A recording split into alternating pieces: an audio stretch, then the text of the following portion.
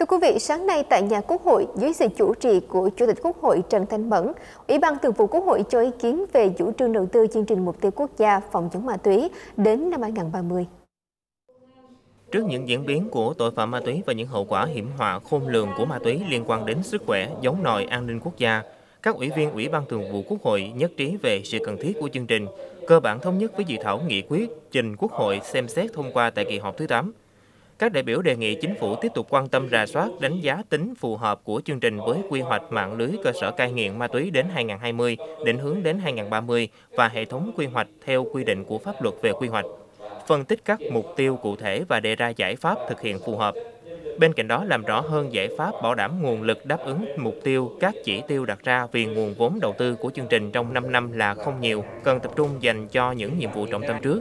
Trước mắt trong năm 2025 cần bố trí một nguồn vốn nhất định và dành thời gian rà soát lại toàn bộ các văn bản pháp quy và những văn bản liên quan khác để vừa phòng chống, giảm cung cầu và giảm tác hại của ma túy.